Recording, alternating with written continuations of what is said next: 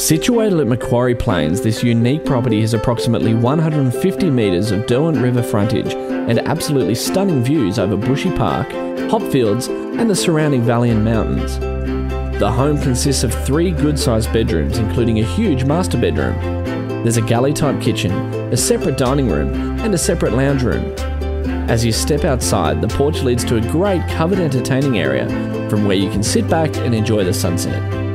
The land is prime river frontage with rich, fertile soil, divided into nine small paddocks, most of which have underground irrigation. So, with the flick of a switch, whatever you choose to grow will be soaked with pristine water from the magnificent Derwent River. With Hobart less than one hour's drive, this property is ideal for those seeking a lifestyle change.